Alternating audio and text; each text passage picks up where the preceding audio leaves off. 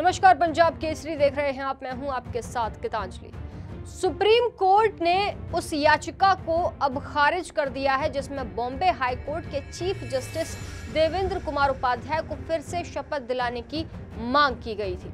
Bombay high court के chief justice की तरफ़ से ली गई शपथ को तकनीकी रूप से गलत बताने वाली याचिका पर सुप्रीम कोर्ट ने अब कड़ी नाराज़गी जता दी है। साथ ही अपना समय बर्बाद करने के लिए याचिकाकर्ता पर पाँच लाख रुपए का जुर्माना भी लगाया है।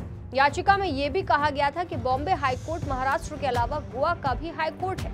इसलिए गोवा के राज्यपाल को भी शपथ ग्रहण समारोह में शामिल किया जाना चाहिए। आपको बता देते हैं कि कोर्ट ने आखिर कहा क्या है? दरअसल देश के मुख्य न्यायाधीश DY Chandrachud, justice JB Pardiwala और जस्टिस मनोज मिश्रा की अध्यक्षता वाली पीठ ने कहा है कि सुप्रीम कोर्ट में तुच्छता की एक सीमा होती है। याचिकाकर्ता ने अदालत का समय बर्बाद किया है। न्यायाधीश आधी रात को भी याचिकाओं पर सुनवाई करते हैं। चीफ जस्टिस ने याचिकाकर्ता से कहा है कि आप शपथ को चुनौती दे रहे हैं क्योंकि राज्यपाल ने ये कहा था कि लेकिन मुख्य न्यायाधीश ने शपथ लेते वक्त में शब्द का इस्तेमाल नहीं किया। उन्होंने आगे कहा कि अब से अदालत इस तरह की आधारहीन याचिकाओं को अदालत के सामने आने से रोकने के लिए अग्रिम लागत लगाना शुरू करेगी। वहीं मामले पर याचिकाकर्ता ने अदालत से कहा है कि सुनवाई से पहले उसकी याचिका को आधारहीन न कहा जाए।